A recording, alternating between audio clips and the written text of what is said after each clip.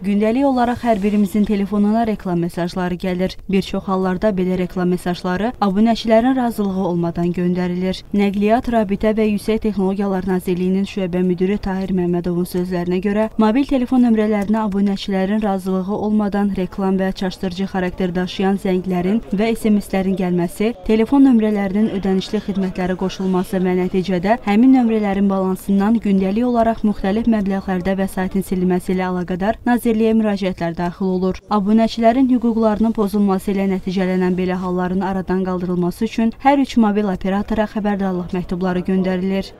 Telekommunikasiya haqqında və reklam haqqında qanunlara əsasən ə, mobil operatorlarla reklam vericilər arasında bağlanmış müqaviləyə əsasən həmin reklamların istifadəçilərinə göndərilməsi mobil operatorların hüquqlarıdır və burada qanuna zidd heç bir şey yoxdur. Bu onların ə, kommersiya fəaliyyətidir. Eyni zamanda həmin reklamların istifadəçilərə göndərilməsi üçün mütləq istifadəçilərlə mobil operatorlar arasında razılıq olmalıdır. Bu razılıq da adətən nömrə resursundan istifadə ilə bağlı imzalanmış müqavilədə öz əksini tapır.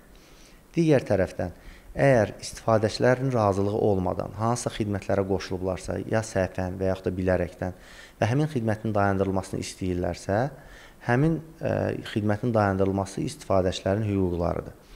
Adətən mobil operatorlar və kontent provayderlər müxtəlif cür reklamların göndərilməsi zamanı əgər vətəndaşlardan buna görə balansından vəsait silinirsə, təbii ki, həmin xidmətin dayandırılması ilə bağlı istifadəçinin müraciəti mütləq nəzərə alınmalıdır və buna görə həm mobil operatorlar, həm də kontent provayderlər məsuliyyət daşıyırlar.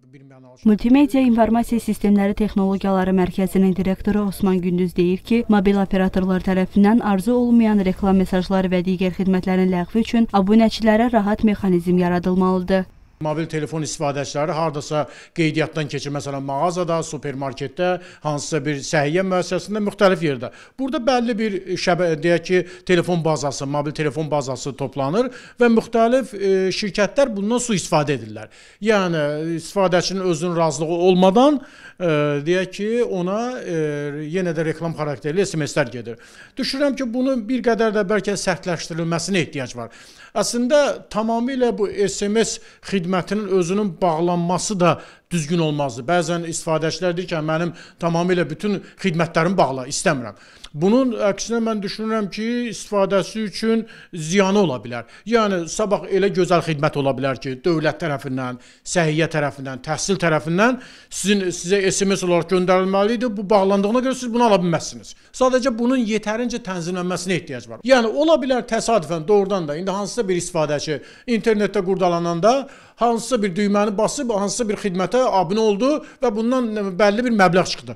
İndi bundan imtina etmək istəyir. Vətəndaşların özünə izah olunmalıdır ki, mobil operatorun səhifəsində, onun sosial media səhifəsində, deyək ki, mobil operatorun məxsus resurslarda bunun izahatı verilməlidir. Deyək ki, filan xidmətdən istifadə üçün filan addım atmaq lazımdır. Bax bu əlçatan olmalıdır. Mexanizm olmalıdır və bu əlçatan olmalıdır. Ekspertlərin fikrincə, qeyd olunan məsələ ilə bağlı cəmiyyətdə fikirlər birmənalı olmadığından, bunun üçün mobil operatorların maarifləndirici xarakterli layihələr həyata keçirməsinə böyük ehtiyac var. Xanım Nağıyeva, Vüsal Vidədoğlu, Şakir Qurbanov, Hümbət Məmmədov, Azərtac.